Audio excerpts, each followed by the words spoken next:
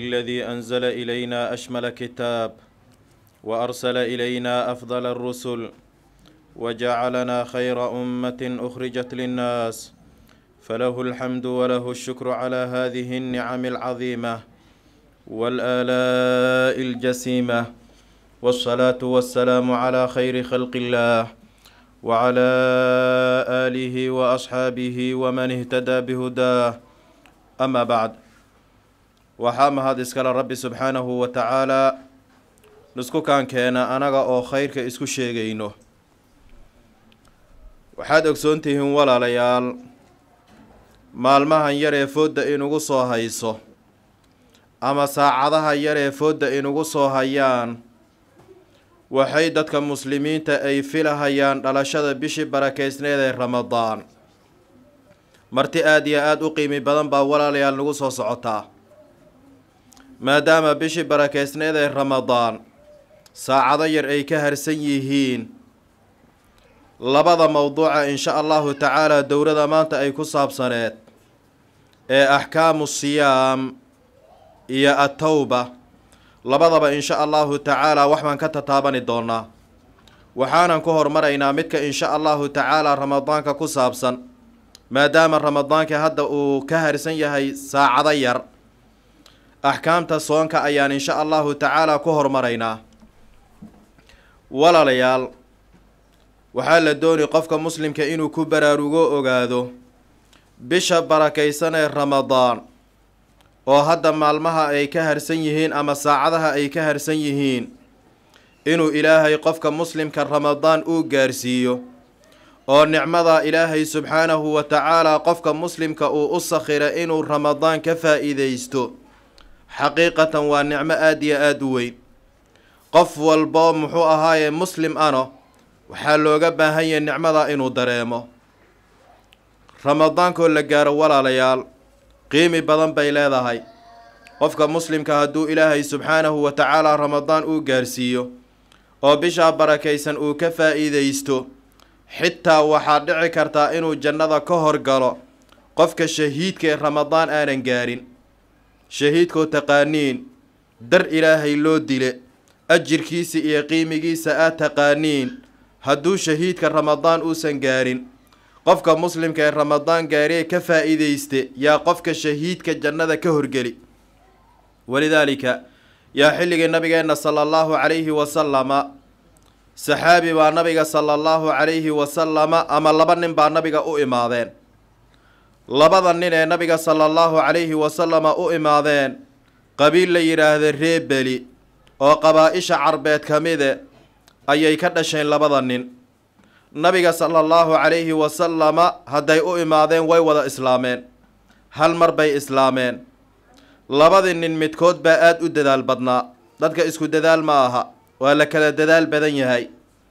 Koodii dadaalka badnaa ayaa duulaan aade duulaankii ayuu muxuu ahaay ku dhintoo shahiid buu noqde kii kale kada muxuu ahaay isku marka ay islaameen sanad buu nolosha ooga sii dambeeye laakiin geeri caadi baa ilaahay subxaanahu wa tacaala ku oofsade xadiidka raawigii warinahayo dalxata bni cubaydillaahi yaa waxaa riyo lagu tusiye wuxuu yihi dalxatu bnu cubaydillaahi habeen habeenada ka mide anoo wuxuu yidhi albaabka jannada taagan yaan waxaan arkuu yidhi labadii nin. Waa riya. Dalxa wuu riyoode riyadii habeenkii wuxuu ku arke labadii ninee isku marka islaameen. Midkood jihaad fii sabiilillaahi uu ku dhinte midkoodna sanad uu dembeeye nolosha uu ku dembeeye geerida caadiga ay u imaate oo albaabka jannada taagan buu ku riyoode dalxa marka wuxuu yidhi albaabkii jannada say u taagnaayeen. Ninbaa jannada gudaheeda ka soo baxe ninkii jannada gudaheeda ka soo baxe labadii nin oo jannada albaabkeeda taagan midkii nolosha ku dembeeye ee jihaad fii sabiilillaahi aanan ku dhimanin yaa marka hore jannada la geliye. Kii marka hore dhinte ee jihaad fii sabiilillaahi ku dhinte waxaa jannada laga horgeliye kii sanadka ka dambeeye ee geerida caadiga ay u timid. Kii jannada haddii la horgeliye kii muxuu ahaayee dambeeye horreeye ee shahiidka ahaa ayaa markii labaad jannada la geliye. Labadii haddii jannada lagu hubsade oo weliba jannada ay ku kala horreeyeen waxaa loo soo laabta dalxa oo ninka markaa riyoonahayo waxaa lagu yidhi adiga iska laabo. Weli waxaa la yidhi xilliga ilaahay subxaanahu wa tacaala qofka uu jannada gelinahaye weli adiga maadan gaarin. Ilaan jannada waxaa la galaa qofka markuu dhinto. Ninkan wuu riyoonahayaa wuu nool yahay labadii nin jannada haddii la geliye oo weliba jannada gelitaankeeda ay ku kala horreeyeen saxaabiga waxaa la yidhaha adi weli noolal baa kuu dhiman. Waaga hadduu beriye riyay aheedee dalxata bni cubaydillaahi arrintii ayada aheedee uu ku riyoode yuu saxaabada u sheegay. Aad bay oola tacajubeen. Maxaana yeelay waa wax lala tacajubo ninkii jihaad fii sabiilillaahi ku dhinta oo jannada laga horgale. Arrintaasay saxaabada aada oola yaabeen nabiga sala allahu calayhi wasalam ay arrintii gaarte sheekadii baa nabiga loo sheegay. Waxaa la yidhi rasuul allow labadii ninee isku marka islaameen midkood jihaad fii sabiilillaahi uu ku dhinte midkoodana sanad nolosha uu ku dembeeye kii nolosha ku dembeeyey jannada la horgeliye saxaabada arrintii way la yaabeen. Markaasuu yidhi nabiga sala allahu calayhi wasalama maxaa arrintaa lagala yaabi? Yacni arrintaa ayada wax lala yaabo? Ma uhuu yidhi nabiga sala allahu calayhi wasalama saxaabada su'aaluu weydiiye nabiga. Waxay yidhaahdeen saxaabada ayagoo nabiga su'aalo weydinahayaan.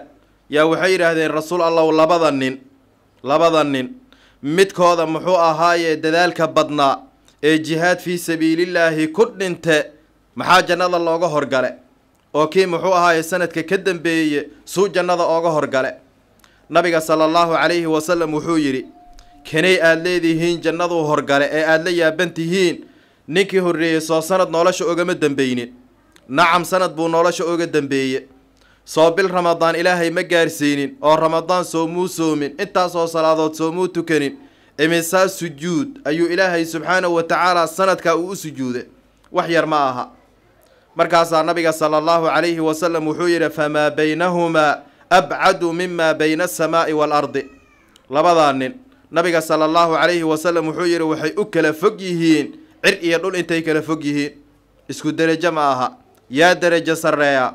Waxaa derajo sarreeyaa qofkii ramadaan ilaahay intuu gaarsiiye ramadaan ka faa'iidayste oo ilaahay subxaanahu wa tacaala ramadaan u waafajiye yaa ka fadli badan. Xadiidka asagee ibnu maaja ayaa wariye imaamul albaanina wuu saxiix yeele walaalayaal bal eega qiimiga iyo fadliga ay leedahay. Qofka ilaahay bisha barakaysan ee ramadaan hadduu gaarsiiyo oo weliba ramadaan uu ka faa'iidaysto. Sidoo kale waxaa khasaare oo hoog iyo halaag gacanta u gashe qofkii ilaahay ramadaan intuu gaarsiiyo ramadaan sababteeda aan loogu dembi dhaafin. Nabigeenna sala allahu calayhi wasalama maalin maalmaha ka mide ayuu mimbarkiisi kore saxaabadana dhulka ayay fadhiyeen. Nabiga sala allahu calayhi wasalama mimbarkiisa saddex derajuu lahaa derajada koowaad markuu koro nabiga sala allahu calayhi wasalam wuxuu yidhi aamiin. Tii labaad markuu koro sidii oo kale aamiin. Tii saddexaadna wuxuu yidhi aamiin. Aamiin macnaheeda waa maxay? Aamiin macnaheeda waxaa weeye ilaahuw ducada naga aqbal. Saxaabada nabiga markuu aamiin uu leeyahay wax ducaynahayo ay u jeedeen ma jirin. Nabigay weydiiyeen rasuul allow saddexdii jeer ee mimbarka aad korte aamiin aamiin aamiin baad ku celcelise wax ducaynahayana maana arkine waa sidee nabiga sala allahu calayhi wasalam wuxuu yidhi jibriil calayhi salaam baa ii yimid. Jibriil marka wuxuu yidhi dad buu habaarahaye. Dadkuu habaaraya waxaa ka mid ahaa oo nabigana aamiin uu u yidhi qofkii ilaahay ramadaan gaarsiiyo oo ramadaan ka faa'iidaysani waayo ramadaan sababteeda loogu dembi dhaafi waayo khayr ma lehee. Ilaahay kaa naar hadduu geliyo naarta ilaahay ha ku fogeeyo nabiga sala allahu calayhi wasalam wuxuu yidhi aamiin. Bal habaarkaa u fiirso dhulka ma dhacahayo. Maxaa yeeley waxa ducaynahaya waa jibriil calayhi salaam waa amiinu lwaxyi fi samaa waxa aamiinta ku hayano waa nebi moxamed sala allahu calayhi wasalama waa aqbal ducada ayadee. Qofkii marka ramadaan ilaahay intuu gaarsiiyo ka faa'iidaysani waayo habaarkaasaa ku dhici. Marka walaalayaal waxaa loo baahan yahay bishaa barakaysan ee ramadaan ee saacadaha yar ay ka harsan yihiin inaan aada u soo dhoweyno qaabmaa lagu soo dhoweyne bisha barakaysan ee ramadaan walaalayaal ee saacadaha yar hadda ay ka harsan yihiin waxyaabaha lagu soo dhoweyni kow waxaa ka e qofka muslimka ducada inuu badiyo. Maxaad ilaahay ka bari ilaahay waxaad ka baridaa adigoo caafimaad qabto oo nabad qabto ilaahay subxaanahu wa tacaala ramadaan inuu ku gaarsiiyo. Waxyaabaha loo baahan yahay inaan badinno ayay ka mid tahay gabadha muslimadda e inay mar walba ay ku ducaysato ilaahow ramadaan i gaarsii ilaahow ramadaan ha iga qadinin ilaahow anoo caafimaad qabo oo xanuunsaneen oo ilaahayow sixadayda ay taam tahay ilaahow i gaarsii ramadaan. Waxaana arrintaa aan kaga dayanaynaa asalafu saalix ridwaanullaahi calayhim. Waxaa laga soo guuriye lix bilood bisha barakaysan ee ramadaan horteeda inay ilaahay in badan ka baryi jireen. Ilaahay ramadaan inuu gaarsiiyo. Bal u fiirso ramadaan lama gaarin. Lix bilood intaanan ramadaanka la gaarin. Yaa ilaahay waxay ka baryi jireen ducada ku celcelini jireen. Ilaahow ramadaanna gaarsii anagana hadda waxaa laga yaabaa wixii oo saacado yar ay ka harsan yihiin inuu nagu jirin ama uuba nagu yaryahay qof ku ducaysta ilaahow ramadaan i gaarsii marka walaalayaal qaababka aan ku soo dhoweynayna bisha barakaysan ee ramadaan. Qodobka koowaad waa ducada inaan badinno. Ilaahay subxaanahu wa tacaala inuu ramadaanna gaarsiiyo oo ilaahay nolosha uu inoo sii dheereeyo oo ilaahay ramadaan uuna haleeshiiyo. Ducadeeda waa inaan badinno. Gaar ahaan xilliyada ducada aqbalka ay tahay qofka muslimka ducada waa inuu badiyo. Sida bayna al aadaani waaliqaama ducada xilliyaha aqbalka ay tahay aqinka iyo adinka waqtiga u dhaxeeyo ducada waa aqbal xilliga qofka muslimka uu sujuudsan yahay ducada waa aqbal. Maalinka jumcada nabiga sala allahu calayhi wasalama wuxuu sheega saacad baa jumcada ku jirtaa ducada aqbal ay tahay. Nisfu leyli alaakhir habeenka muxuu ahay niskiisa dambe ducada waa aqbal. Waxaadna ogaatiin ilaahay subxaanahu wa tacaala waa deeqsi. Addoonkiisa hadduu gacmaha u hoorsado ilaahay subxaanahu wa tacaala ma hoojiyo udcuunii astajib lakum waidaa sa'alaka cibaadii cannii fa innii qariibun ujiibu dacwata daaci. Ilaahay waa kan uu leeyahay. Qodobka koowaad marka walaalayaal waa inaan ramadaanka ku soo dhoweyno. Ilaahay in badan inaan ka barinno. Ilaahay ramadaan inuuna gaarsiiyo. Qodobka labaad qofkaaga muslimka ilaahay hadduu ku gaarsiiyo bishan barakaysan ee ramadaan waxaa la rabaa inaad ilaahay subxaanahu wa tacaala aada u mahad celiso. Ilaahay inaad ku shukriso ayaa la dooni maxaa yeelay ramadaan oo ilaahay uu ku gaarsiiye wax sahlan ma aha awooddaadana ma aha xowladaadana ma aha. Ilaahay subxaanahu wa tacaala nicmo uu ku siiye wey. Fara badana dad fara badan oo walaalaheenna oo ramadaankii u dambeeya nala soomeen oo maantana dhulka ka hooseeya camalkoodii wuu go-e. Midkood maanta wuxuu tamaninahayaa oo uu jeclaysani lahaa in adduunyada intii loo soo celiyo hal daqiiqade hashoo daqiiqado adduunyada intii loo soo celiyo subxaana allaahi uu dhaho. Midkood wuxuu jeclaysani adduunyada intii loo soo celiyo laba ragcadood oo sunno inuu tukado. Waxaasoo idil marka fursooyinka maanta waan haysannaa wayna naga dayaxsan yihiin.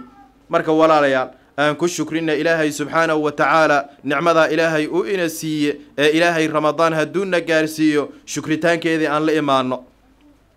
Qodobka saddexaad ee ramadaan walaalayaal inaan ku qaabilna looga baahan yahay dib baan ooga hadli doonnaa asagoo faahfaahsan. Waa towbade waxaa la doonay qofka muslimka ramadaan intuusan bilanin dunuubtan faraha badan iyo macaasidan iyo xumaanyooyinka lagu jiro kuddi in laga dhex baxo.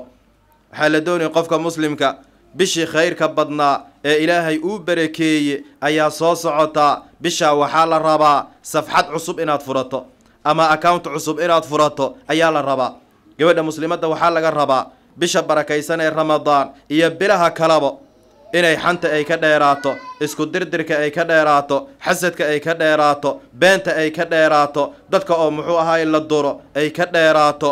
Waxaasaa la yidhi iyo qiila waqaala waxyaabahaasoo idil qabyaaladan muxuu ahaaye baryahan soomaalida lagu ibtileeye waxaasoo idil waxaa la doonaya qofka muslimka bisha barakaysan ee ramadaan oo soo gelayso waxaasoo idil inuu ka dhex baxo. Qodobka afaraad waxaa waajib ee walaalayaal haddaan muslimiin aan nahay qof walboo muslime rag iyo dumar waxaa waajib ku eh bishaa barakaysan ee ramadaan ilaahay hadduu gaarsiiyo axkaamta bisha barakaysan ee ramadaan ku tacalluqdo inaan baranno. Meelaha aad iyo aad muxuu ahaay looga jiifo ayay ka mid tahay. Maxaa yeelay soonka bisha barakaysan ee ramadaan walaalayaal la soomahayo. Waa tiir ka mid a tiirarka diinta islaamka ay ku dhisan tahay. Tiir dhan oo marka diintaadii islaamka ay ku dhisan tahay ood gudanayso xaggana aqoonteedii aadan laheen in badan hadda haddii liisweydiiyo war soonka maxaa buriyaa? Soonka muxuu ku asaxmaa in badan lama garanahayo marka waad iska sooman tahay waxaa laga yaabaa wax soonkaagii dhaawac u geysani inaad gaar in muxuu ahaay ku soo gaare haddana war aadan ka haynin. Marka walaalayaal waxaa la dooni gaar ahaan gabadha muslimadda e inay barato axkaamta ku tacalluqdo bisha barakaysan ee ramadaan suu soonkeeda uu saxiixu u noqdo. Waxaa kaloo la dooni walaalayaal bishaa barakaysan ee ramadaan ilaahay qofka muslimka hadduu gaarsiiyo waxaa la rabaa bishaa ayadee barnaamij inaad dejisato inaad isdiyaariso oo bishaa barakaysan ee ramadaan hadday kuu soo gelayso waxaa la rabaa barnaamij adigoo kuu qorshaysan yahay. Maxaad qabani bisha barakaysan ee ramadaan? Barnaamij khayri ood ramadaanka aad qabani ood ilaahay aada oogu dhowaani waa inuu kuu diyaarsan yahay.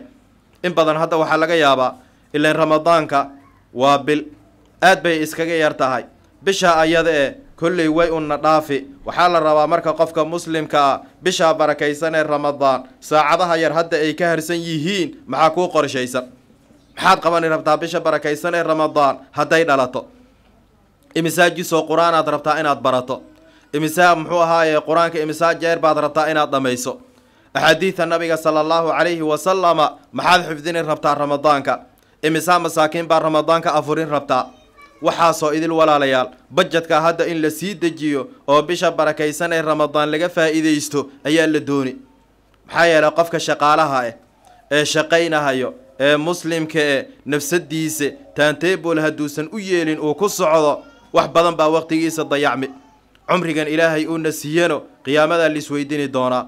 Lan tazuula qadama cabdin yowma alqiyaamati xataa yus'ala can arbacin waa kii xadiidka nabiga ahaa afarta laisweydini marka waxaa ka mid e cumrigan ilaahay uu ku siiyey waxaad ku dhammayse ramadaan waxaad ku dhammayse waa lagu weydin. Marka waa inuu qofka muslimka u qorshaysan yahay bishan barakaysan ee ramadaan barnaamij khayri ood qabani.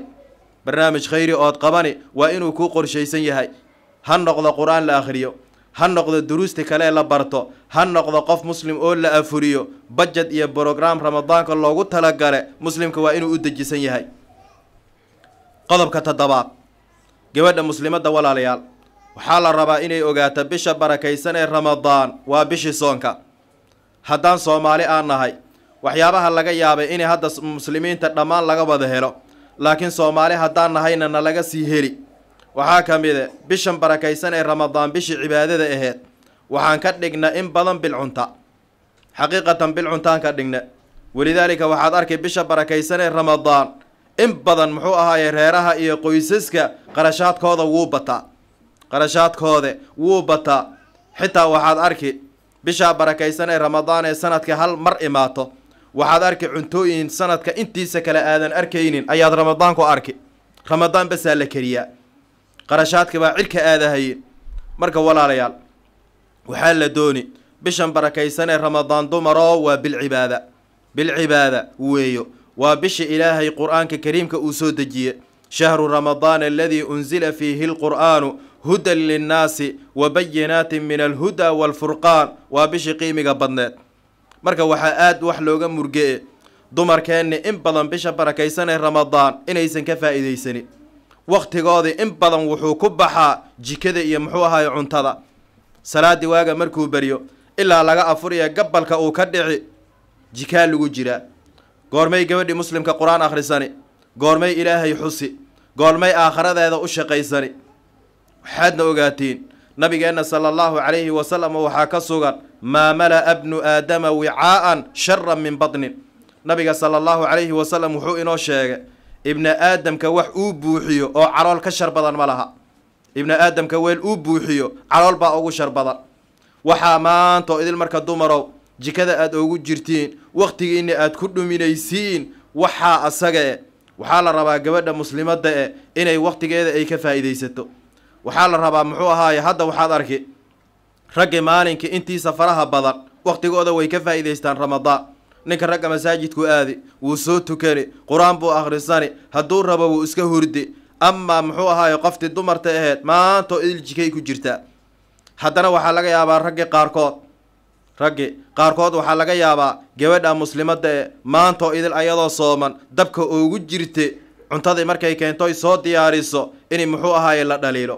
Maxay waxaan cuntadan muxuu ahaaye milaxa iyo muxuu ahaaye cusbada ku badan waxaasoo idil shahan muxuu ahaaye sokorta ku yar maxay? Waa gabadhi maantoo idil muxuu ahaaye ku jirta jikada ee laga yaaba cibaadadeeda gelabgelab inuu iska ahaa marka dumarow bisha ayadee inaad ka faa'iidaysatiin ayaa la rabaa gabadha muslimadda ee aakharadeeda waa inay u shaqaysato cibaadadeeda waa inay ku dadaasho salaada waa inay ku dadaasho qur'aan akhriska waa inay ku dadaasho deriska waa inay u dadaasho. Marka walaalayaal aan ku dadaalna bishaa barakaysan ee ramadaan cuntooyinkan faraha badan ee muxuu ahaaye dadka wakhtiga ka dhumiyeenno ha liska yareeyo. Maxaa yeele bisha waa bil cibaada. Haddii la yidhaahda maantoo idil waxbaa la cuni goormee la cibaadaysani goormee la tukani taraawiixdii iyo wixii xitaa dadka waxyaabaha beryahan dambe ee oga caga jiidaan waxaa ka mid e cuntooyinka faraha badan qof muxuu ahaaye intaasoo jeer wax cunahaye goormuu cibaado ilaahay u istaagi uma istaagi karo. Marka walaalayaal bishaa barakaysanee ramadaan ee foodda inugu soo hayso in badan ha laga faa'iidaysto. Waa maalmo iska yar ayaama macduudaad buu ilaahay ku cabire way iska tegi bishaa ramadaan halaga ha laga faa'iidaysto waxaan hadda aan u gudageli axkaamta bisha barakaysan ee ramadaan. Maxaa yeeley bisha barakaysan ee ramadaan walaalayaal axkaam ayada u gooni bay leedahay. Axkaam ayada u gooni e ayay leedahay. Waxaan ku bilaabaynaa axkaamtaa ayadee soonkan hadda muxuu ahay saacadaha yar ay naga harsan yihiin ee bisha barakaysan ee ramadaan xukunkiisa muxuu yahay. In la soomo xukunkeeda horta waa maxay? Waa inaan baranno. Soonka bisha barakaysan ee ramadaan walaalayaal waa waajib in la soomo bisha barakaysan ee ramadaan waa shay waajibe. Ilaahay subxaanahu wa tacaala ayaana nagu waajib yeele. Maxaa u daliila ramadaanka soonkiisa waajib inuu yahay?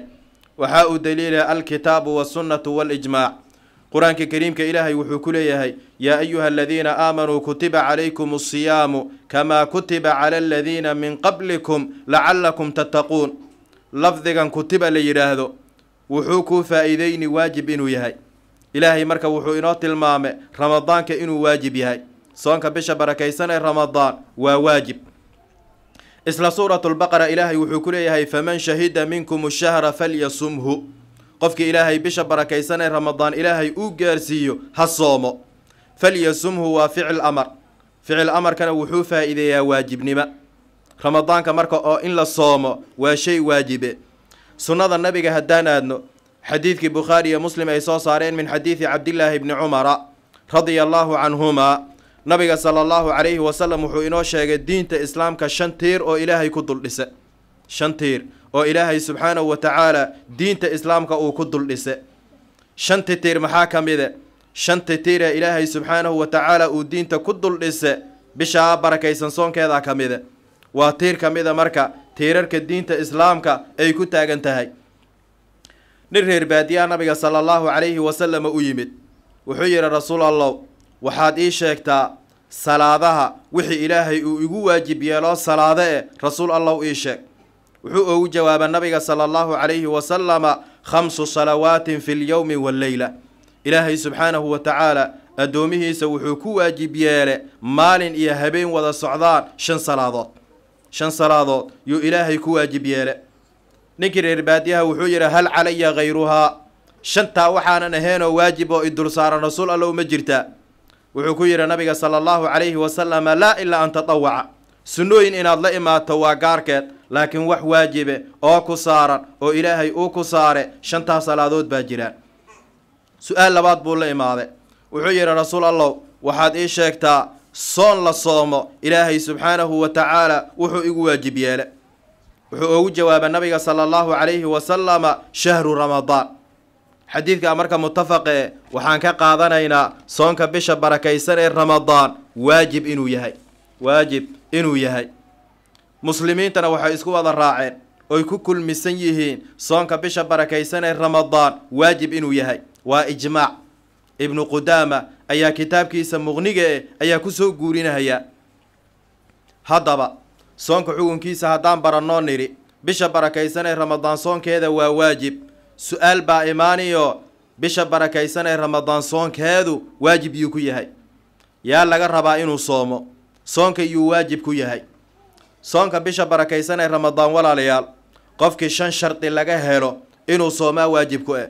Shan shardi qofka haddii laga helo inuu soomo waajib bay ku noqoni. Shardiga koowaad waxaa weeyo ee qofka inuu soomo waajib ka dhigi waa inuu qofka muslim u yahay.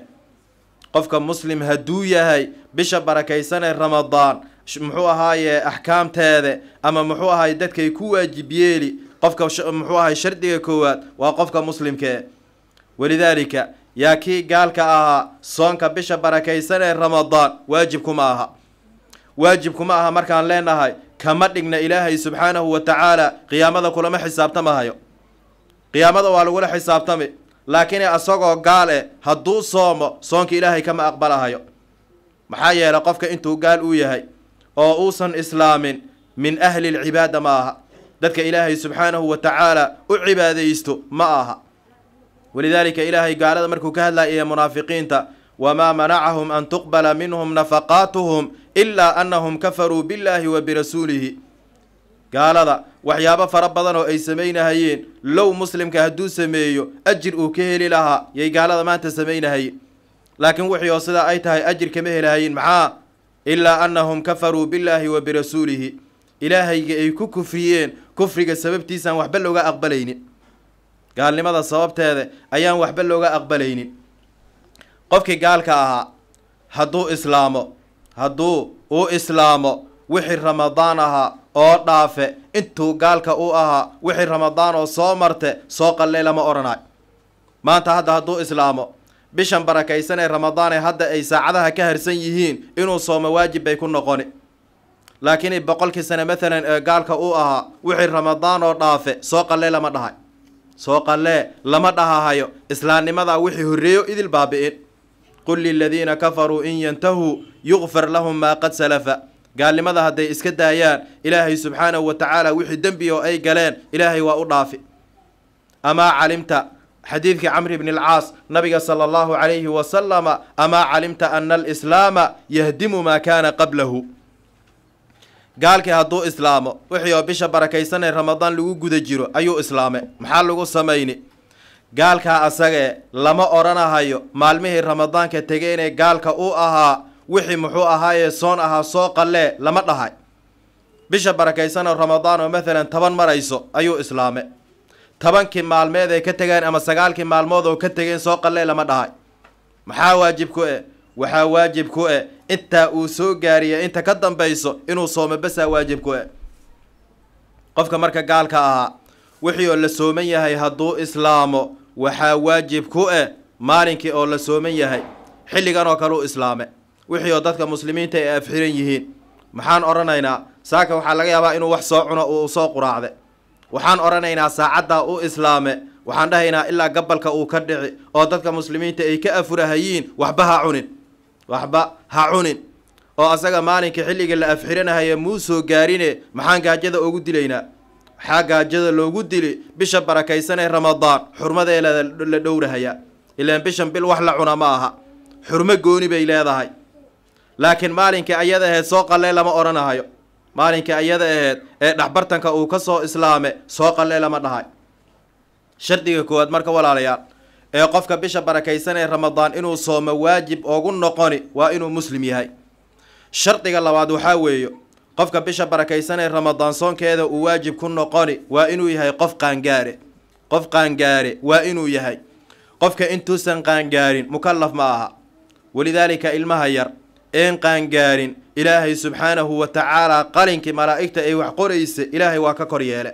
Waxba looma qorahayo. Ilmaha intuu yar yahay uu weli uusan qaangaarin. Xadiidka caliyi bni abi aalib rufica alqalamu can halaatha can innaa'imi xataa yastayqida wa can isabiyi xataa yabluqa ilmaha yar ilaa uu ka qaangaaro ilaahay subxaanahu wa tacaala waxba uma qorahayo. Laakiin ilmihii yaraa hadduu qaangaaro ilmihii yaraa hadduu qaangaaro maxaa lagu samayni? Maalan ilmihii yaraa weli muusan qaangaarin. Laakiin wax wuu kala garanayo wax wuu kala sooci karaa. Wax wuu kala sooci karaa. Laakiin xilliga qaangaarka weli muusan gaarin. Soonkii ramadaankana wuu soomi karaayo hadduu soomo wax dhib ma soo gaarahayo. Wax dhibe ma soo gaarahayo hadduu soomo. Markaasoo kale waxaa fiican aabbihii iyo hooyadii inay faraan inuu soomo. Inuu soomo inay faraan ayaa fiican ramadaanka hadhow dambe caado u noqoni wuu la qabsani. Marka saasoo kale ayaa fiican. Shardiga saddexaad walaalayaal ee qofka ay muxuu ahaay waajib ogu noqonay bisha barakaysan ee ramadaan inuu soomo qofka waa inuu caaqil yahay. Qofka soomi inuu caaqil yahay oo uu wax kala garani ayaa la rabaa. Qofka caaqilkuu soonka waajib ku yahay. Amaa kii waalnaayee majnuunka ahaa soonka asaga waajibkuma aha maxaa yeele xadiidkii hadda aan soo marayna xadiidi caliyin ilaahay subxaanahu wa tacaala dadka qalinka uu ka kor yeele waxaa ka mide qofkan muxuu ahaaye waalan ee majnuunka e ilaa ilaahay caqliga uu soo celiyo. Qofka marka shardiga saddexaad waxaa weeye soonka uu waajib ku yahay waa inuu caaqil uu yahay. Qof caaqile oo caqli ilaahay uu siiye waa inuu yahay. Ka waran qofkii majnuunka ahaa ee waalnaa wuxuu miyirsada oo ilaahay subxaanahu wa tacaala caqliga uu u soo celiye wixii oo bishii barakaysneed ee ramadaan la sooman yahay. Wixii oo dadka ay sooman yihiin oo maalin muxuu ahaaye maalmihii ramadaanka ka mide dhaxbartankeedii ayuu miyirsada maxaa lagu samayni? Qofka asagee wixii muxuu ahay bisha barakaysneed ee ramadaan dheefaan oo maalmo eh soo qallee lama odhanahayo intii uu waalnaa ee weli uusan miyirsanin wixii sidaa ooga tege soo qallee lama odhanahayo maalinka uu dhex bartankeeda uu soo miyirsado maxaa lagu samayni? Maalinkan dhexbartankeeda uu soo miyirsade waxaan odhanaynaa ilaa gabalka uu ka dhici waxaa waajib kugu inaad sii afxidhat inaad afxidhato ayaa waajib kugu ahaa la odhani hadday dhacdo in la helo qof marna muxuu ahaye miyirka heli marna muxuu ahaye miyir dawoolsami marna miyirkuu heli marna wuu miyir dawoolsami maxaa lagu samaynay qofka asage qofka asaga culimmada waxay leeyihiin waxaa waajib ku e markuu soo miyirsado inuu soomo. Intuu maskaxdiisa iyo miyirkiisa ay joogaan wuu soomi. Amaa intuu muxuu ahaye miyir dawoolsan yahay ilaahay subxaanahu wa tacaala ramadaanka ilaahay kuma laasiminin waa shardigii saddexaad. Shardiga afaraad. Qofka bisha barakaysan ee ramadaan waajib ay ku noqoni soonkeeda waa inuu yahay muqiim. Qof muxuu ahaa ee negey oo muxuu ahay gurigiisa joogo oo musaafir aanan ahayn waa inuu yahay amaa qofka musaafirka e bisha barakaysan ee ramadaan soonkeeda waajib kuma aha. Waajib kuma aha markaan leenahay wuu heli karaa way u bannaan tahay inuu soomo. Inuu soomo way u bannaan tahay. Laakiin waajib biyo kama dhibcaane soonka asaga kuma aha. Waa intuu musaafir u yahay. Beledkiisi iyo gurigiisi iyo magaaladiisi iyo meeshuu ku noolaa mar alla markuu u soo laabto waxaa la odhani intii maalmood oo aad muxuu ahay musaafirka aad aheed ee soon la'aanka aad aheed intaa un soo qalle. Intii maalmood oo u afure besuu musaafirka soo qallayni. Wax kafaare eh iyo wax kaleoo musaafirka lagu leeyahay ma jirto. Qofka marka musaafir hadduu yahay intii maalmood oo ramadaanka u afure besuu soo qallayni. Wax kaloo lagu leeyahay ma laha. Faman kaana minkum mariidan aw calaa safarin fa ciddatun min ayaamin ukhara asaga waxaa un la rabaa intii maalmoodoo u afurna unbuu soo soomi. Shardiga shanaad haweeneyda muslimadda ee suu ramadaanka ugu waajib noqdo waa inay daahir ka tahay labadii dhiig. Dhiiggii caadade iyo kii dhalmade waa inay daahir ka tahay. Walidaalika haweeneyda labadaa dhiig intay qabto midka dhalmada ee nifaaska loo yaqaano iyo midka caadada xaydka loo yaqaano soonka waajib kuma aha. Soonka waajib kuma aha. Xitaa hadday soomaan soonkooda ma asax mahayo dhiiggaa intay qabaan dumarka xitaa low ayaga hadday iska soomaan soonkooda ma aqbal mahayo. Maxaa laga rabaa? Ayaga waxaa laga rabaa qallo oo keliya. Qallo keli-e ayaa laga rabaa. Waxaana mas'aladan daliil u eh. Xadiidkii ummina caa-isha radia allaahu canha ummuna caa-isha waxay leedahay xilliga nabiga sala allahu calayhi wasalama dumar haddaan nahay wixiioo ramadaan lagu guda jiro yaa dhiigga caadada nagu dhici jire caa-isha marka waxay tihi nabiga sala allahu calayhi wasalama soonkana wuuna fari jiray inaan soo qallayno. Amaa salaada sooma aha nabiga nama fari jirin sala allahu calayhi wasalama inaan soo qallayno. Xadiidkaa muslim baa soo saare xadiidkaa marka waxaa laga faa'iidaysani gabadha muxuu ahay muslimadda e dhiigga caadada inay qabto waajib waxaa ku eh intii dhiiggaa uu socdo inay muxuu ahaaye ay afur inay afurto ayaa waajib ku eh. Soonna inay soonto lama rabo dhiiggaa mar alla markay muxuu ahay daahir ay ka noqoto intii maalmood oo ramadaanka ka tegeen besay soo qallayni bese ayay soo qallayni. Marka gabadhii muxuu ahay dhiigga qabta caadade ama kii dhalmada qabte salaada fajarka horteeda ayay daahir noqote. Salaada fajarka hortii ayay daahir noqote. Laakiin waxaa muxuu ahaaye laga yaabaa qabayska inay muxuu ahaaye dib ay u dhigato. Qabayska inay dib u dhigato ayaa laga yaabaa waxaa markaasoo kale waajib ku eh inay soonto. Qabla alfajri hadday muxuu ahaaye daahir ay noqoto walow qabayska dib ha u dhaco inay soonto waajib buu ku yahay. Shardiga lixaad qofka muxuu ahaaye soomahayo waa inuu uu yahay qof soonka kari karo. Qof soonka kari karo inuu yahay ayaa shardi e shuruudu wujuubi sawmi marka waxaa ka mid e qofkan muxuu ahaaye muslimka e inuu soomi karo inuu awoodo walidaalika qofka hadduusan soomi karin oo soonkaba uusan awoodi karin soonka waajib kuma noqonahayo. Soonka waajib kuma noqonahayo. Walidaalika halkaa waxaad ka garataa diinteenna islaamka e waa diin ilaahay subxaanahu wa tacaala yusri iyo fudayd ilaahay uu ku dhisay ramadaanka haddaadan soomi karin oo xanuun iyo waxa aadan la soomi karin iska afur. Ilaahay subxaanahu wa tacaala ayaa muxuu ahaaye fudaydka ku siiye walidaalika halkan ayadee waxaa habboon inaan tilmaanno qofka hadduu yahay qof xanuunsan bisha barakaysan ee ramadaan axkaamta qofka muxuu ahaaye muslimka ee xanuunsan. Waxaa kaloo ayadana habboon inaan tilmaanno qofkii waayeelka ahaa. Qofkii waayeelka ahaa asagana xukunkiisi. Haweeneydii ayadana duqda aheyd maxaa laga samaynay bisha barakaysan ee ramadaan.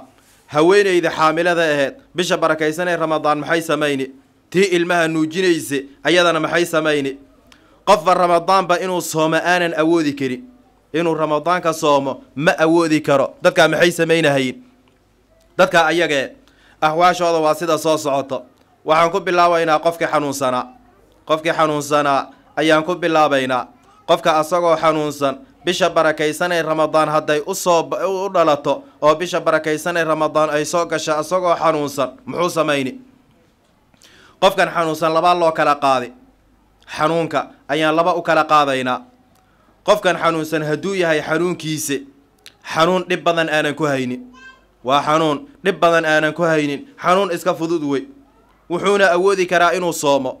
Hadduu soomo xanuunkii muxuu ahaaye wax dhib uma keenahayo. Mathalan hergeb baa hayaa. Hergeb waa muxuu ahaaye xanuun iska fudud. Madax xanuun baa mathalan hayaa oo iska fudud. Waxaa laga yaabaa goos baa xanuunahayaa goos ayaa xanuunahayaa intaaba culummada waxay ku daraan cudurrada iska yar ee fudfudud ayay ku daraan. Qofka xaalkiisa hadduu sidaa yahay hergeb baa mathalan hayaa madax xanuun iska yar baa mathalan yaa hayaa qofkaa uma bannaano inuu afuro. Inuu afuro uma bannaano waana biitifaaqi almadaahibi alarbaca. Maxaa yeele sababta waxaa weeyo qofkaa xanuunkiisa soonka dhib uma keenahayo. Soonka dhib uma keenahayo. Muxuu la mid yahay? Qofkii fiyowa wuu la mid yahay qofkii fiyowa ayuu la mid yahay. Waxaa waajib ka e marka qofkaasoo kale xanuunkiisa uu yar yahay inuu soomo waajib bay ku tahay. Waxaad ka warantaa qofkii xanuunsanaa xanuunkiisa hadduu daran yahay xanuun daran ayaa hayaa cudurkiisa wuu weyn yahay. Inuu soomana ma awoodo inuu soomano ma awoodo. Low hadduu dhaho aa soontiidno dhib fara badan baa soo gaari. Bal waxaa laga yaabaa hadduu so hadduu soomo xanuunka inuu ku kordho xanuunka inuu ku kordho ayaa laga yaabaa. Qofkaa muxuu samayni? Qofkaasoo kale wuu afuri. Qofkaasoo kale xanuunkiisa uu daran yahay wuu afuri. Hadduu afuro maxaa laga rabaa?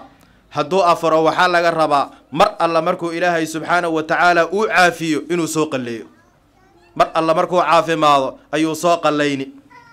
Waa hadduu xanuunkiisa uu yahay xanuun laga rajaynahaya inuu ka bogsado xanuun laga rajaynahay inuu ka bogsado hadduu yahay mar alla markuu soo caafimaado ayuu soo qallayni. Walidaalika ma bannaano qofkaasoo kale inuu yidhaahdo mar alla markuu muxuu ahaye ilaahay uu caafiyo ma soomahaye masaakiin baan quudin ama cuntaan bixini. Dadka qaar baa sidaa yeelaa. Qofkan hadduu yahay xanuunkiisa xanuun weyn xanuun weyn hadduu yahay oo soonkii uusan awoodi karin hadduu soomano soonkiisi muxuu ahay dhib ooga imaani qofkaa asaga e waxaa la rabaa inuu iska afuro. Mar alla markuu bogsadano inuu soo qalleeyo amaa inuu yidhaahdo cuntaan bixini masaakiin baan quudini maya. Waajibka qofkaa saaran waxaa weeye inuu soo qalleeyo mar alla markuu ilaahay uu caafimaadsiiyo ayuu soo qallayni maxaa u daliile waman kaana mariidan aw calaa safarin fa ciddatu min ayaamin ukhra. Aayadda marka waxay sheegtay qalla. Aayadda wax kale maysan sheegin waxaad ka warantaa qofka xanuunkiisa hadduu yahay xanuun joogto e oo aanan la rajaynaynin inuu ka bogsado. Xanuun afar iyo labaatan sac qofka hayo. Inuu ka bogsadona rajo lagama qabo. Hadduu soomana soonkii dhib buu ku noqoni. Qofkaa maxaa lagu samayni? Qofkaa wuu afuri. Qofkaa asagae xanuunkiisa daa'im uu yahay inuu ka bogsadona aanan la rajaynaynin sida duqnimada oo kale.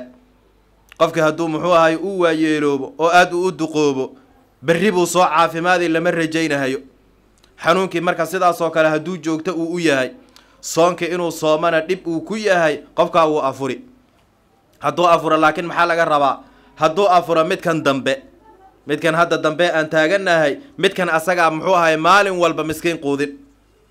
Midkan asaga e xanuunkiisa rajo aanan laga qabin inuu bogsado rajo lagama qabo. Soonkiina wuu dhibi kaa asaga intuu iska afuro yuu maalin walba yuu hal miskiin quudin maalin walba hal miskiine ayuu quudini. Miskiinki muxuu siini? Miskiinkii maalin walba wuxuu siini nisfu saac. Waa hal kiile iyo bar. Cuntada meesha laga cuno oo hal kiile iyo bar eh yuu maalin walba miskiin siini. Ama hadduu raba hal maalin ha isku wada siiyo. Ramadaanka muxuu ahay sagaalkii sagaal iyo labaatankii maalin ama soddonkii maalin markoo intuu xisaabo ha bixiyo. Ayadan wuu yeeli karaa maxaa u daliile masaladan? Masaladan waxaa u daliile wa cala aladiina yutiiquunahu fidyatun dacaamu miskiin. Ilaahay fidyuu sheega. Ilaahay fidya ayuu sheegay xanuunkii marka hadduu yahay xanuun daran qofkiina soonka uusan awoodi karin low uu saamo hadduu muxuu ahay u dhaho waan soomi xanuunkii baa muxuu ahay dhibi. Bal waxaa laga yaabaa qofkaasoo kale hadduu dhaho waan soomi inuu miyir daboolsamo inuu nafsadiisa u halaago ayuu khatar markaasayto ugu jiraa qofkaasoo kale waxaa waajib ku ah inuu afuro miskiinna uu quudiyo. Waa madhabu jumhuuri lculamaa walaa taqtuluu anfusakum iyo walaa tulquu biaydiikum ila tahluka. Ayay culimmadaa daliishadeen. Waa shardigii lixaad. Shardiga toddobaad ee soonka muxuu ahaaye shuruudiisa ka mide waa niye. Niye in lala imaado. Niyada marka waa shardun min shuruudi sixati siyaam walidaalika cibaadooyinka faraha badan ee qofka muslimka uu qabto intooda badan niyaa loo shardiyaa. Qofka marka muxuu ahaaye sooman ee raba inuu soomo waxaa la rabaa inuu niyeysto mathalan berri inaad soomi. Berri inaad soomi inaad qalbiga aada gashato ayaa la rabaa. Wax la akrini oo afka aad ka dhihi ama duca-e oo la akrini oo soo aroorta ma laha. Niyada iyo qalbigaad waxaad gashani. Berri insha allahu tacaala inuu ramadaan u yahay ood soomi berri inuu ramadaan u yahay ood soomi unbaad niyada gashani wax kaloo aada akrini ma laha. Tusaale mathalan culimmadu waxay leeyihiin qofkii hadduu ka afxirta cuntadi cuntadi ayuu diide. Maxaa cuntada udii u diidsiiye cuntada mathalan wuxuu u diida xanuun xanuun baa hayaa. Cuntadii ma cuni karo. Ama waxaaba laga yaabaa wuufiyo u yaho cuntadan cunitaankeediba ma rabo. Cuntada inuu cuno ma rabo cuntadii wuu iska daaye. Ama wixii cabitaan ahaa wuu iska daaye ma rabo markaa ayadee galmadii buu iska daaye markaa ayada ma rabo baahi uma hayso baahi uma hayso ama waxaaba dhici kartaa marmarka qaarkood oo dadka cuntada iyo cabitaanka ooga tagaan jirka oo la dhiso. Dadka raba jirkooda inay dhisaan cuntada iyo cabitaanka way iska yareeyaan. Ama qofkii mathalan wuu cayilo wuxuu rabaa inuu muxuu ahay wasankiisi uu fudaydiyo. Cuntadii wuu iska daaye qofkaa hadde cuntada hadduu iska daayo wuu soomanya lama dhahay. Maxaa waxaa la waaye niya. Niya ayaa la waaye. Waxaa la doonay marka soonkan cibaadada eh ee aad soomayso kanay weliba waajibka eh niye waa inuu wato. Niye inuu wato ayaa muxuu ahaaye shardi eh niyada ayada marka waxaa la rabaa qofka muslimka mathalan xilligii suxuurta haddaa soo kacdo suxuurta aada cunayso ayaa niye ku ah suxuurta aada cunayso ayaa niye ku ah suxuurta maxay ka turjumaysaa? Suxuurta waxay ka turjumaysaa berri aad soontid berri aad soontid wixii aad ku suxuurani laheyd cuntadii cabitaanka haddaad soo qaadato wakaa niyada lagu sheegi. Niyada lagu sheegi wataa ayadee. Soonka marka hadduu waajib uu yahay oo farad uu yahay sida soonka bisha barakaysan ee ramadaan waxaa shardi eh bal waajibe qofka habeenkii waqti ka mide salaada fajarka intaanan la gaarin habeenkii waqti ka mide qofka inuu niyo la imaado.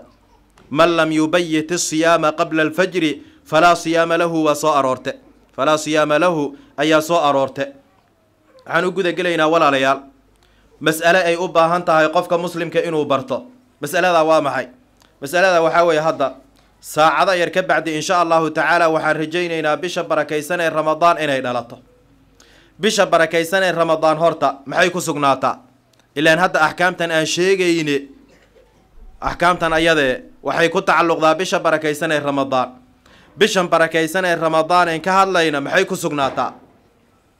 Bisha barakaysan ee ramadaan walaalayaal waxay ku sugnaataa laba shay midkood. Laba shay midkood ayaa shariica alislaamiya ayay bisha ramadaan ku sugnaataa. Arrinka koowaad waxaa weeyo bishii barakaysneed ee ramadaan in la arko. Hadday sugnaato qof muslime oo lagu kalsoon yahay inuu arka bisha barakaysan ee ramadaan waxaana shardi e hal qof oo muslime oo lagu kalsoon yahay. Waa bisha aragtideeda bisha ramadaan. Aragtideeda hal qof muslime oo lagu kalsoon yahay oo caadile hadduu arko oo u yidhaahdo muslimiinay bishii way sugnaate anaa arke. Muslimiinta inta kale waxaa waajib ku inay soomaan. Inay soomaan ayaa waajib ku eh bishii markaa way sugnaate maxaa yeele nabiga sala allahu calayhi wasalam waxaa ka sugan suumuu liru'yatihi wa afdiruu liru'yatihi walidaalika xilligii nabiga sala allahu calayhi wasalama saxaabigii cabdillaahi bni cumara ayaa bisha arke wuu soo ardo nabiga sala allahu calayhi wasalam uu u sheegay waa cabdullaahi bni cumara keligii. Nabiga sala allahu calayhi wasalama muslimiinta wuxuu fara inay soomaan. Waa cabdullaahi bni cumara keligii. Waa qodobka koowaad. Bisha marka haddii la arko ay sugnaato axkaamteedii way sugnaate qodobka labaad waxaa weeyo bishii shacbaan soddonkeeda haddii afka laga xiro bisha ramadaan. Soddonkeeda afka haddii laga xiro meel kaloo loo sii soconi ma laha ramadaan markaa ayada e waa bilowde. Ramadaan markaa ayada e waa bilowde. Intaa walaalayaal waxaan muxuu ahaye ooga gudbi. Mowduuci muxuu ahaye axkaamta ramadaanka ku saabsanaa waxaan wixii oo waqtiga uu yaryahay wax yar aan ka taabanay insha allahu tacaala mowduuci kale towbada ku saabsanaa mowduuci towbada ku saabsanaa ayaan hadda wax yar ka taabanaynaa marka koowaad walaalayaal ilaahay subxaanahu wa tacaala malaa'ig ilaahay nagama dhigin. Malaa'igtaanan dembi ka dhicin. Bal ilaahay subxaanahu wa tacaala uunkan faraha badane u abuure gaar ahaan jinni iyo insiga.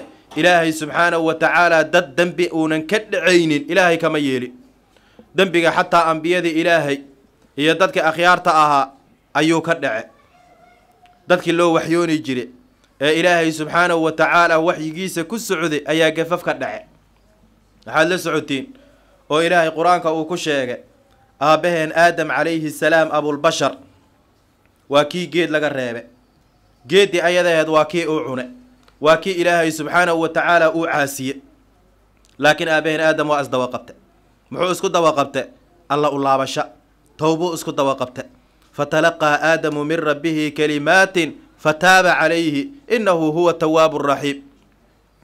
Aabaheen aadam calayhi salaam hadday arrintaa ay ka dhacda uu towbad keene nebiyullaahi muusa calayhi salaam waxaad la socotiin ilaahay subxaanahu wa tacaala inuu weydiiste su'aal. Muxuu yidhi muuse muuse wuxuu yidhi rabbi arinii andur ilayka. Ilaahay buu u hiloowe wuxuu yidhi allow waxaan rabaa inaan ku arko. Iskay tusi allow. Ilaahay wuxuu ugu jawaaba lan taraani muusow adduunyada iguma arkaysid. Muusow adduunyada iguma arkaysid. Nebiyullaahi muusa calayhi salaam arrintaa yaree uu dalbade. Hadduu ilaahay sidaa ugu jawaabe waxaa lagu qanciyey walaakin indur ila aljabali. Buurta duurusiineed ag taagan tahay bal buurtaa fiiri. Nebiyullaahi muusa calayhi salaam iyo buur yaa adag xaqiiqatan buurtaa adag. Ilaahay marka wuxuu yidhi muusow bal buurtan eeg. Buurtanaan isku faydi doonaa buurtaa ayadee hadday sii taagnaato oo meesheedii ay ku sii taallo muusow markaa waad i arki doontaa amaa buurta hadday burburta soo ma aha buurta adiga kaa kaa adkeed hadday burburte adiga iskama kay xajini kartid. Fain istaqara makaanahu fasawfa taraani falamaa tajallaa rabbuhu liljabali jacalahu dakkan wakhara muusaa saciqa. Buurtii meeshii way ku burburte nebiyullaahi muusa calayhi salaamno waa miir dawalsame waxaanan ilaahay muxuu ahaaye aanan muxuu ahaaye u qalmanin bini aadam ayuu ilaahay ka barya. Nebiyullaahi muusa markuu soo miirsade wuu isdawa qabtay wuxuu yidhi subxaanaka tubtu ilayka u fiirso. Ilaahay buu u laabtay. Ilaahay subxaanahu wa tacaala ayuu u laabte uunka marka walaalayaal dhammaantood way dembaabahayin nabigeenna sala allahu calayhi wasalama xadiidkii anas ibni maalik ee tirmidi iyo ibnu maaja iyo imaamu axmed ay soo saareen kullu bni aadama khataa ilmo aadam dhammaantoode waa khataa gefkaa afar iyo labaatan saac ka dhici. Inta geftana waxaa ugu khayr badan inta ilaahay u laabato. Inta ilaahay u laabato ayaa ugu khayr badan. Marka ilaahay subxaanahu wa tacaala maxaad u dembaabtay ilaahay kuguma nacay. Bal ilaahay subxaanahu wa tacaala addoomihiisa markuu gef iyo khata uu ka dhaco albaabka towbadu ilaahay u fura qul yaa cibaadiya aladiina asrafuu calaa anfusihim laa taqnatuu min raxmat illaahi ina allaha yakfiru dunuuba jamiican towbada qiimiga ay leedahay dadkii ilaahay aflagaadeeye ee ilaahay subxaanahu wa tacaala xumaha ku tilmaamay nimankii nasaarada ahaa ee ilaahay subxaanahu wa tacaala aflagaadeeyeen ee ilaahay ku tilmaameen thaalithu thalaatha ilaahay subxaanahu wa tacaala waa kii towbadda u bandhiga afalaa yatuubuuna ila allahi wayastakfiruunahu bal nusuusta shareecada waxay caddayse qofka muslimka ah dunuubta dhammaanteed inuu ka towbad keeno midda yar iyo midda weyn waa waajib. Muslimba mar haddaa tahay dunuubta mideeda yar iyo midda weyn midda muuqata iyo midda qarsoon inaad dunuub ka towbad keento waa shay waajibe. Ilaahay qur'aanka wuxuu ku leeyahay watuubuu ila allahi jamiican ayuha almu'minuuna lacalakum tuflixuun. Tuubuu waa ficul amar. Amarkana waajib buu faa'iideeyaa idan in dunuubtoo idin laga towbad keeno waa shay waajibe. Waxaa isweydin mudan. Qofka muslimka hadduu towbad keeno towbada maxaa faa'iidoo laga helaa? Towbada faa'iidada laga helo ilaahay baa inoo tilmaame. Waxaa hadda walaalayaal aan doonayno ee ilaahay subxaanahu wa tacaala har iyo habeen ilaahay aan ka barinayno adduun iyo aakhare inaan liibaano waxyaabaha lagu liibaano waxaa ka mida towbada wa tuubuu ila allahi jamiican ayuha almu'minuuna maxaa la heli? Lacalakum tuflixuun ilaahay marka naxariistiisa albaabkaa towbada la yidhaahdo saacad walba habeen ha la joogo maalin ha la joogo ilaahay subxaanahu wa tacaala albaabkaasuu inoo furay. Afar iyo labaatan saac wuu iska furan yahay. Afar iyo labaatan saac wuu iska furan yahay. Albaabkaa laakiin goor baa la xiri doonaa. Goormaa la xiri? Waxaa la xiri doonaa maalinka qoraxda ay ka soo bixi doonto meeshii ay u dhacday. Qoraxda meeshii ay hadda gabalka uu u dhaco maalinkay ka soo baxdo albaabkaa waa la xiri laakiin maanta wuu furan yahay. Maanta wuu furan yahay. Walidaalika yaa nabiga sala allahu calayhi wasalam waxaa ka sugan ilaahay subxaanahu wa tacaala gacantiisuu habeenkii fudiyaa. Gacantiisa ayuu habeenkii fidiyaa. Sababka waa maxay? Midkii maalinkii dembiga gale suu habeenkii u towbadkeen. Sidoo kale ilaahay subxaanahu wa tacaala maalinkii uu gacantiisa furi sidii kii habeenkii muxuu ahaaye gefe uu u towbad keeno xataa tadluca shamsu min maqribiha wuxuu kaloo nabiga sala allahu calayhi wasalam inoo sheegay man taaba qabla an tatluca ashamsu min maqribiha taaba allaahu calayhi taaba allaahu calayhi qoraxda meesha ay u dhacda intaysan ka soo bixin horteeda qofkii towbad keeno ilaahay waa ka towbad aqbali xadiidkan asagee wuxuu inoo sheegay waqti guud oo ilaahay subxaanahu wa tacaala dadka dhammaantood hadday towbad keenaan ilaahay towbada uu ka aqbali. Wuxuu kaloo xadiidkan uu sheegay waqti gooni ahaaneed oo ilaahay qof walba goonidiisa towbada oga aqbali.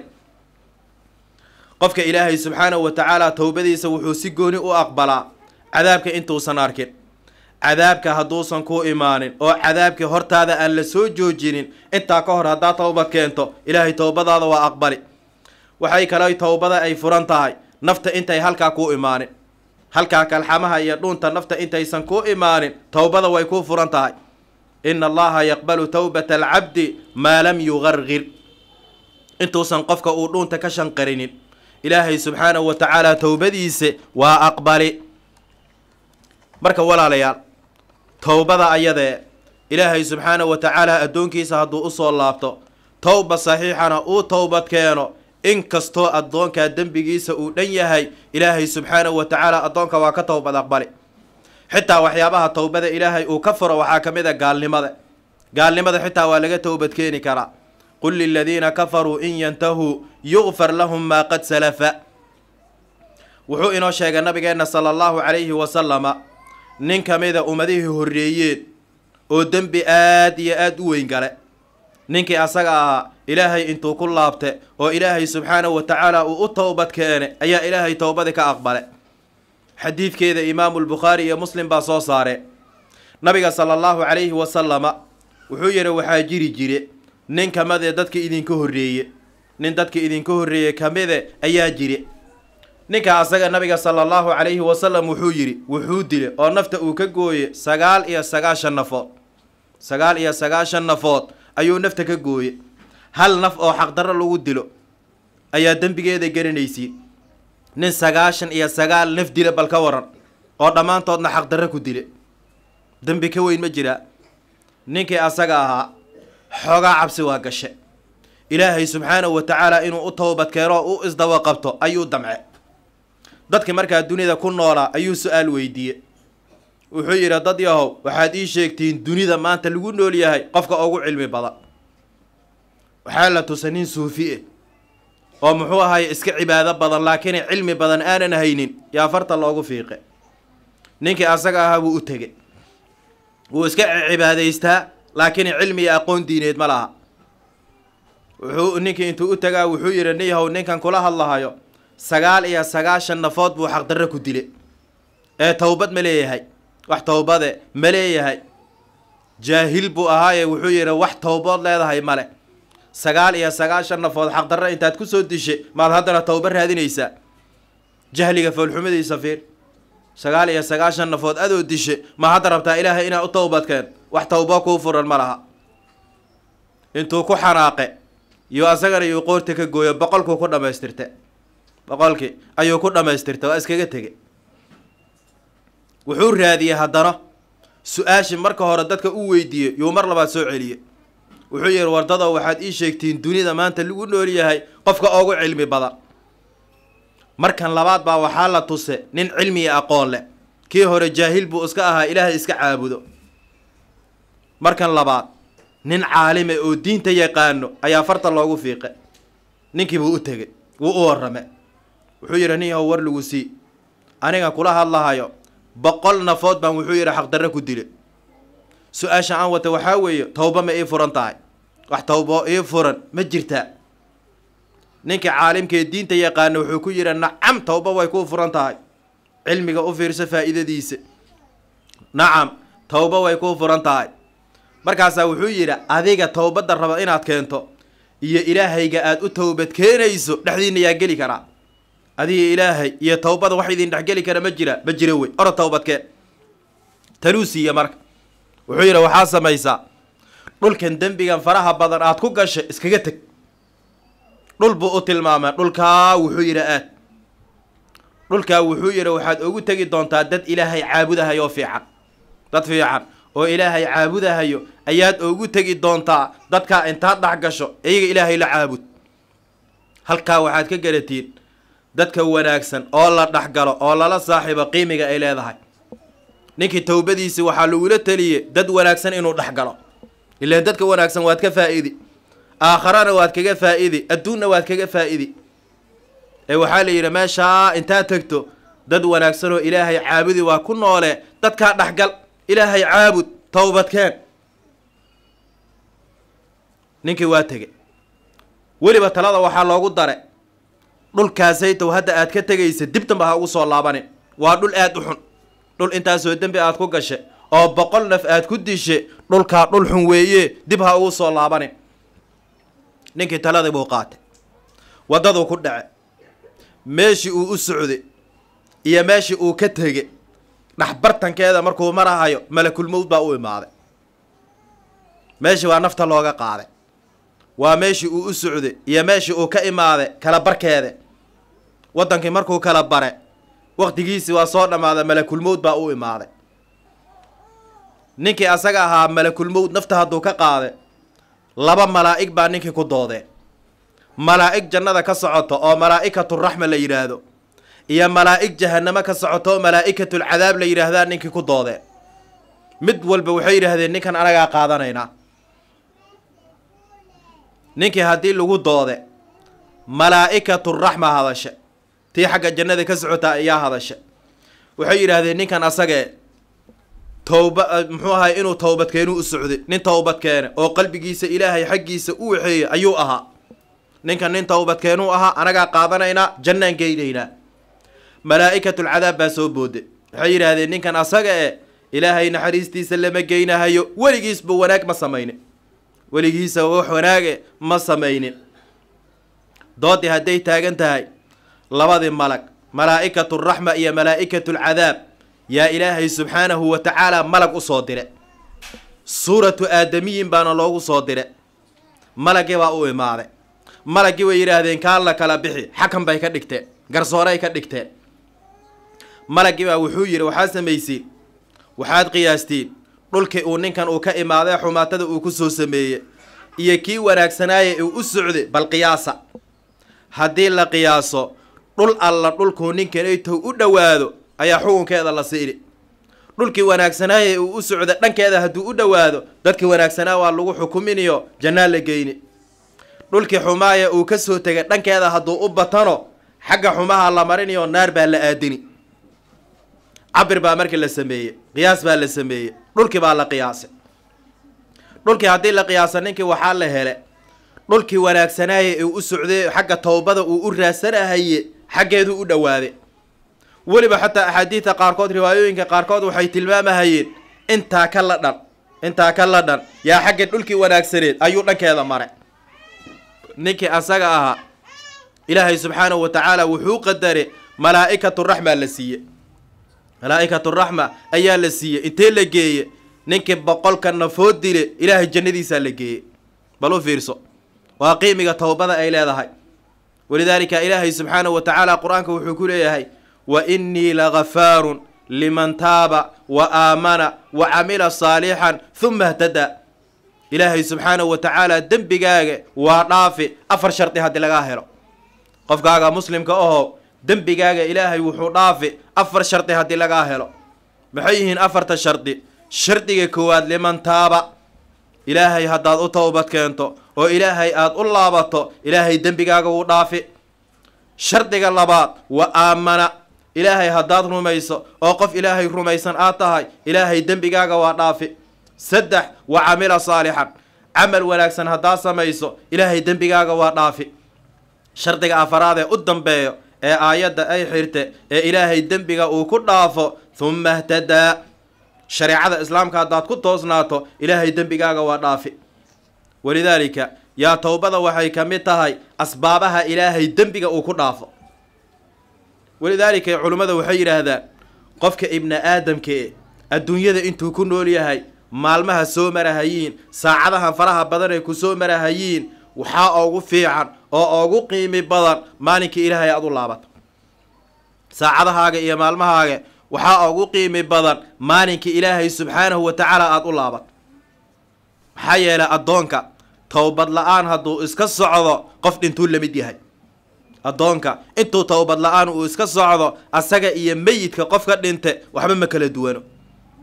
Walidaalika yaa waxaa la dooni qofka muslimka wuxuu ku noolaadaa towbade saxaabigii kacb ibni maalik radia allaahu canhu kacb ibnu maalik wuxuu ka mid ahaa saddex rage oo saxaabada nabiga sala allahu calayhi wasalama ka mide ghaswatu tabuuk ayay kadib mareen biduuni cudrin. Biduuni cudrin ayay duulaankii kadib mareen laakiin run buu sheegay. Saxaabiga asagee iyo saddexdii kale labadii kale saddexdoodaba run bay sheegeen. Ilaahay subxaanahu wa tacaala towbadoodi waa aqbale saxaabigan towbada markii intaanan laga aqbalin ayuu qisadii ka dhacda asaga ee dhexmarta asaga iyo nabiga ayuu ka sheekeeyey.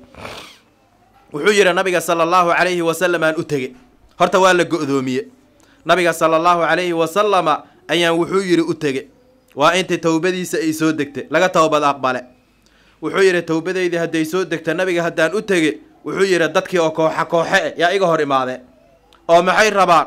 Anay ii tahniyadaynahayaan towbadii ilaahay iga towbad aqbale ayay igu igu bishaaraynahay markaasaa wuxuu yidhi nabiga sala allahu calayhi wasalama intaan u imid ayaan salaame. Nabiga haddaan salaame wuxuu yidhi nabiga sala allahu calayhi wasalama oo qoslahayo oo wejigiisa uu ifahayo oo wejigiisa dhal uu ka baxahayo ayaan arkuu yidhi. Nabigana mar alla markuu farxo sala allahu calayhi wasalama wejigiisaa ifi jire. Bal nabiga markuu farxo wejigiisa waxaa loo malayni jiray nabiga sala allahu calayhi wasalama qeyb dayaxa ka mide oo dhulka ku soo dhace iftiinkiisa markaasaa nabiga saxaabiga wuxuu ku yidhi abshir bikhayri yowmin mara calayka mundu an waladadka umuka towbada qiimigeeda u fiiri saxaabiga nabiga wuxuu ku yidhi haddii ilaahay ka towbad aqbale kacabow waxaad ku bishaaraysataa maalin ilaahay uu abuure maalinkii ugu khayr badneed oo ku soo marte laga bilaabo maalinka hooyada ay ku dhasha ilaa yowmina haada. Maanta maalin ka khayr badan oo ku soo mari laga bilaabo maalinka hooyada ay ku dhasha ilaa yowmina haada ma jirto. Maxaa? Maalinkan ilaahay baa ka towbad aqbale. Maalmihii kale way ka duwan tahay. Maalmihii kale way ka duwan tahay marka walaalayaal towbadan ayadee waa wax qiimigeeda iyo fadaa-isheeda aanan soo koobi karin. Laba qodob basan muxuu ku soo koobi. Qodobka koowaad waxaa weeye towbada shuruud bay leedahay. Towbada shuruud bay leedahay. Shuruudeedan qofka hadduu la imaado insha allahu tacaala towbadiisa aqbal bay noqoni shuruudan haddii towbada laga waayano waxaa towba lama dhaho. Qofka muslimka markuu rabo inuu towbad keeno afar shardi in laga helo waa waajib. Afar shardi in laga helo yaa waajibe. Afartaa shardi mid ka mid a haddii la waayo towbada ayada sax ma aha. Afartan shardi haddii la helana towbada waa towba nasuuxa.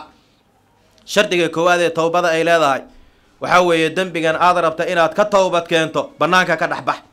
Banaanka ka dhexbax. Mathalan qaraaba goys baad aheed. Waa dembi inaad ka towbadkant ka towbad keentaad rabtaa qaraaba goysnimada banaanka ka istaag qaraabada xidhiiri adoo dembigii weli ku dhex jirta waan towbad keene. Ilaahay baad ku jesjeesaysaa ilaahay ayaad ku jesjeesaysaa shardiga koowaad marka dembigan aad ka towbad keenayso banaanka ka istaag ka dhexbax. Shardiga labaad dembigan kaa dhacee aad samaysayd ka towbad keenayso ka qoomame. Maxaa kuu geeye? Maxaa ilaahay kugu caasiye maxaa dembigan ku geliye ka qoomame? Shardiga saddexaad ee towbada ay leedahay go'aankama dambeys waxaad qaadataa dembiga dib dambe inaadan ogu laabanaynin. Laakiin hadday noqoto haddaan towbad keeni ilaahow iga towbad aqbal. Niyadaadana ay ku jirta shaygii saacadda inaad samayso taa towba lama dhaho. Waa inaad go'aansato oo qalbigaaga ay ka soo go-do dembigan aad ka towbad keenayso inaadan dib ogu laabanaynin.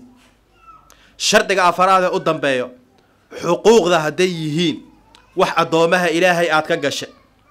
Xaq addoomaha ilaahay aad ka gashe ayaad wadataa inaad towbad keentaad rabtaa shardi afaraad baa lagu dari. Shardiga afaraad waa maxay? Shardiga afaraad waxaa weeye xuquuqdan aadamaha aad wadato celi. Xoolaad maalan soo dhacde inaad towbad keentaad rabtaa xoolihii waan haysani ma celinahay waan towbad keeni ma soconayso. Xuquuqdan ibni aadamkee aad wadato celi markaasay towbadaada aqbal noqon ama dadkii dembigan aad ka gashe cafis iyo muxuu ahaaye inay ku cafiyaan ka dalbo. Afartaa shardi haddii la helo towbada waa towba nasuuxa. Qodobka igu dambeeyeen ku soo gebagebayni waxaa jira walaalayaal waqti iyo xilli towbada addoonka aan laga aqbalaynin addoonka si walba hadduu u towbad keeno waqtigan iyo xaaladan towba lama aqbalo. Maxay yihiin? Waa sida soo socoto. Waqtiga koowaad ee towbada aan la aqbalaynin nafta markay halkaa ay imaato kalxamaha oo qofka uu nafqad qaadahayo oo adduunkii ooga dhammaate saacaddii u dambaysa uu marahayo hadduu yidhaahda waan towbad keeni towbada lagama aqbalahayo. Towbada lagama aqbalahayo.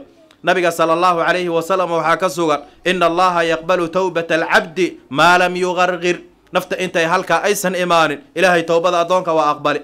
Laakiin maalinkay nafta halkaa ay imaato oo xaqiiqada iyo dhabta aad gaarto waan towbad keeni lagama aqbalay. Waa waqtiga koowaad. Waqtiga labaad ee towbada aan la aqbalaynin waa qofka markuu cadaabka u arko.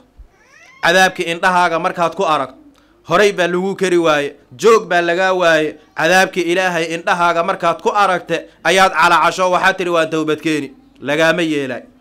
Maxaa u daliile? Falam yakun yanfacuhum iimaanuhum lamaa ra'uu ba'sana ilaahay wuxuu yidhi gaalada cadaabkeennii markay arkeen nacnacdoodii iyo iimaankoodii waxba uma tari. Xilligaasay tow ayadee iimaanka iyo towbada ma furno.